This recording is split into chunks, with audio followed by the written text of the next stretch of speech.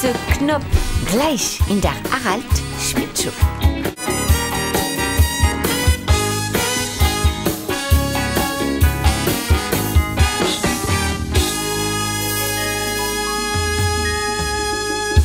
Helmut Zerlett and the Horses. Mein heutiger Gast ist ein äh, glänzender Parodist, zurzeit auf großer Tournee. Herzlich willkommen, Matze Knopp.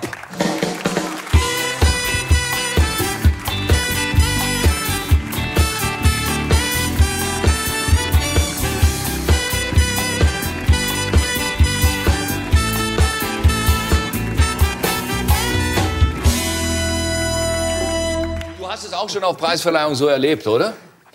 Ja, also äh, Josef natürlich, äh, wie gesagt, der ist ja eigentlich bei jeder Preisverleihung dabei. Er geht gar nicht von der Bühne ab. Nein, Äh, nein, Fünf, und, sechs äh, Preise pro Verleihung. Genau, Ja. und er ist ja auch wirklich ein, ein sehr netter und er hat eine sehr nette Frau. Also das, Ja. äh, die, die Frauen werden ja, müssen, müssen ja auch mal erwähnt werden. Absolut. Grüße an dieser Stelle. Das ist ja auch immer ganz wichtig. Äh, du bist auf Tournee. Was sind das für Städte, in denen du dich äh, sozusagen auch auf Aftershow-Partys dann noch relaxen kannst? Das sind Dörfer eher.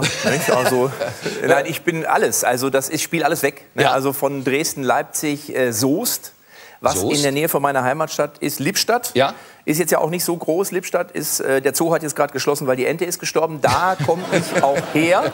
Nicht? Ansonsten Recklinghausen, Die München. Rummeniges kommen daher. Kennst du die eigentlich? Ich kenne Äh, sie. Ja, ja, Also mein Also? Vater. Ja, ja, mein, mein Vater war ja der Jugendtrainer von Karl-Heinz Rummenigge und von Michael Rummenigge Nein. bei Borussia Lippstadt. Genau, da haben die in der A-Jugend gespielt. Und danach sind sie dann äh, zu den Bayern gewechselt. Und mein Vater war auch mein Trainer. Ja. Und ich habe es bis zur Kreisliga A geschafft. Jetzt hast du ungefähr von meinem Talent eine Ahnung. Ja, aber du bist, du bist äh, jemand, der sich wirklich auskennt. Wir haben uns ja häufiger mal auch bei Waldi gesehen. Äh, und äh, du bist schon einer, der äh, Spielzüge erkennt und äh, taktische Verschiebungen kommentieren kann. Ja, ja, richtig. Ja, natürlich. Ja, ich, kann, ich kann ein Spiel lesen, sagt man, glaube ich, dazu. Ja. Und wenn ich es nicht kann, dann habe ich eben andere im Hintergrund, die mir da helfen. Also Äh, jetzt, ich meine, äh, Beckenbauer ist ja zum Glück dir erhalten und uns allen erhalten geblieben. Aber es sind ja einige deiner Figuren weggebrochen, weil der Trainermarkt sie äh, ein bisschen vom Karussell.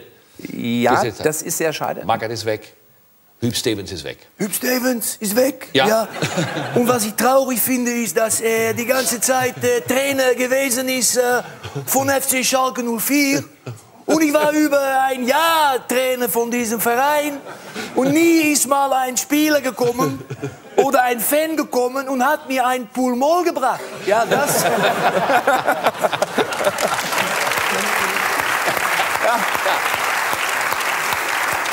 Nein, aber ich sag ganz ehrlich, ich sag ganz ehrlich, ich finde es ich find's erstmal immer blöd, weil ich natürlich denke, so, ach, jetzt hast du den gerade, jetzt ist die Perücke gerade gemacht. So eine Perücke ist auch nicht so billig. Also äh, die kostet ja mal so so eine 2000 Euro. Ne, das Ist es immer- richtig geknüpft und genau, spezial das, angemessen? Das dauert. Ja, nee, klar. Nee, das ist wirklich so. Da geht Das man ist nicht in, ins Karnevalsgeschäft und was in etwa passt. Nee, genau, sondern das wird dann auf Ja. meine Rübe angefertigt Ja. und dann, es ist aber so ungefähr sieht das dann quasi 2000 Euro.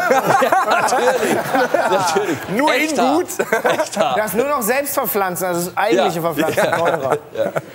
Und äh, ich bin aber eigentlich immer ganz froh, weil ich dann gezwungen werde, wieder was Neues zu machen und äh, da habe ich dann auch Spaß dran. Also wenn man so eine Figur dann knackt, dann äh, findet man das in dem Moment eigentlich auch ganz, also freut man sich darüber, Ja. wenn man den Charakter so ergründet hat. Äh, studierst du die oder ist es so, dass sich die Figur mehr oder weniger so anspringt und irgendwie hast du es plötzlich drauf? Äh, so ein Magat kommt so über Nacht. Ja. Ne, das ist, du schläfst, dann wachst du auf und Ja. sagst auf einmal, yeah. das ist eben dann auch das Problem. Und dann schläft man auch schon wieder ein. Nein, also du, nein, du musst dich schon auch studieren. Also Ja. ich, ich, bin ja, ich bin ja, wie gesagt, auf Tour mit dem Programm Platzhirsche und da muss ich die dann ja auch manchmal so, wenn dann einer reinruft von Gaal, Ja. dann muss ich dann auch in dem Moment sofort so, ja, ich glaube, dass äh, er auch mitgekommen ist. So. Ja. Und dafür musst du das so ein bisschen im Unterbewusstsein haben und ich studiere es dann auch. Ich gucke mir Videos an, YouTube oder, oder Fernsehen oder Ja. so, also alles. Und jetzt hast du den Mann äh, dir schon drauf geschafft, und das sehen wir gleich mal in wirklich einem sehr, sehr, sehr guten Ausschnitt, äh, der nächstes Jahr, nachdem Jupp Heynckes äh, voraussichtlich sich mit drei Titeln verabschieden wird bei den Bayern, äh, auch drei Titel natürlich gewinnen muss, denn sonst äh, war es ein Fehleinkauf. Ne? Jetzt stell dir mal wirklich vor, der holt jetzt die drei Titel. Und ich wünsche es ihm. Äh, ich finde Jupp Heynckes äh, fantastisch sympathischen Sportler und äh, noch nie waren die Bayern so nah an drei Titel dran wie dieses Jahr, oder? Äh, Absolut. Also ich finde, die haben wirklich einen Lauf und äh, es ist ja Fußball ist ja auch sehr viel Kopfsache und man, man sieht es jetzt an den Bayern, die hauen dann auch Arsenal mal eben 3-1 weg. Ja. Und jetzt stell dir wirklich vor, der macht's, dann sagt der Guardiola, "Oh, ich kann nicht und dann müssen wir einen Lothar nehmen. Ne? Also Ja. das, dann, hat, dann ist es endlich soweit. Gestern Abend hast du es gesehen, Barcelona in Mailand? Äh, ich habe es gesehen Ja. und ich war auch genauso schockiert über die Trikots wie du. Also es ist, ist ja das? wirklich, man weiß es nicht. Also bei den Schuhen hast du immer schon das Gefühl, die sind so bunt, die, sind, die Spieler sind im Papagei getreten. Ja. Und jetzt auch noch die Klamotten. Also das ist nicht mein Barcelona, sage ich ganz ehrlich. Mich hat es nicht gewundert, dass sie 2-0 verloren haben. Das lag an Trikots. Ich denke, weil ja, Feng Shui-mäßig, das weißt du natürlich, Das weiß haben Farben eine Kraft. Ja, ja, so. ja, ja, ja, Und dieses äh, Rot, was dann so ins Gelbe ausläuft. Also für mich war das so ein Zeichen, der Rot ist eine sehr energetische Farbe und dies läuft nach unten hin aus. Nee, also äh, nach dem Spiel, äh, Weihnachtsfeier war da nicht mehr. Also das ist, äh, vielleicht war das ein Grund. Aber Mailand äh, hat auch wahnsinnig gekämpft und sind gelaufen und äh, haben irgendwie mit einer Zehnerkette gespielt. Nicht nur. Ja. Äh, glaubst du, dass es noch packen, Barcelona im, im Rückspiel? Also Barcelona ist eine Mannschaft, der man immer alles zutrauen kann. Ne? Also ich, ich finde es überraschend erstmal, dass äh, Kevin Prinz Boateng sich doch so durchgesetzt hat. Der hat mal bei Hertha BSC Ja. Berlin gespielt und jetzt später beim AC Mailand und haut da die Barcelona-Truppe weg.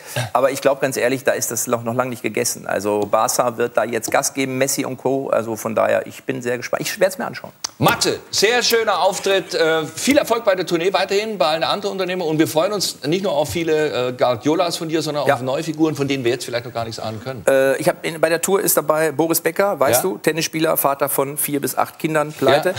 Heidi Klum, Topmodel, Puffmutter, Begrabsteher Personal. ne? ja, ist ja mit dem Bodyguard zusammen und die Trennung hat auch bei Seal schon Narben hinterlassen.